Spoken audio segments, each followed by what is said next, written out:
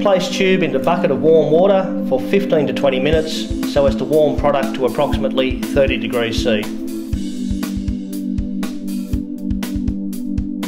Ensure plastic plunger is removed from caulking gun, leaving metal backing plate in place.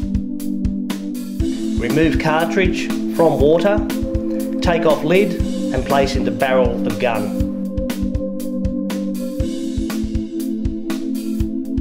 Screw on nozzle to the end of the cartridge gun.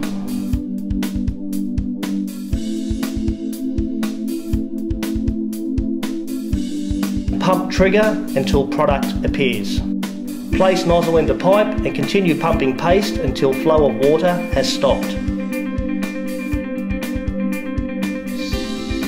Level off material using hand scraper.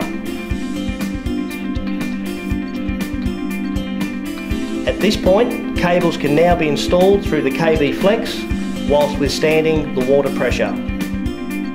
Look, no leaks.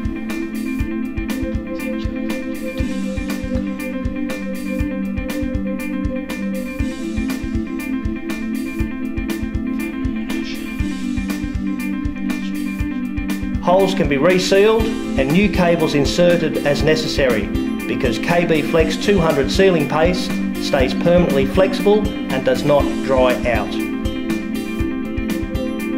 We will now remove the sealing paste to show the pressurised water flowing back through the pipe.